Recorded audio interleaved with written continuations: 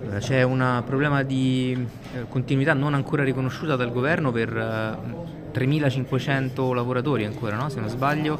Eh, il vostro impegno è intanto quello di ascoltarli e, e poi insomma farete qualcosa perché oltre all'Italia, diceva lei, questo è un problema che può anche essere un precedente eh, pericoloso per il futuro.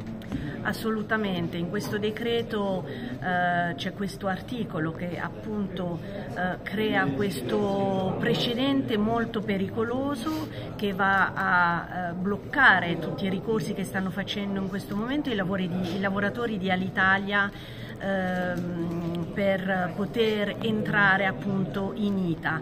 Noi abbiamo presentato un emendamento soppressivo eh, che non è stato eh, votato eh, dalla maggioranza in commissione, oggi il governo sicuramente mette la fiducia a questo decreto, pertanto ovviamente eh, passerà il decreto così come è stato presentato da questo governo. Sicuramente è un precedente pericoloso per altre imprese eh, che in futuro potranno essere celute, pensiamo eh, per esempio oggi possiamo pensare all'azienda Team che viene ceduta.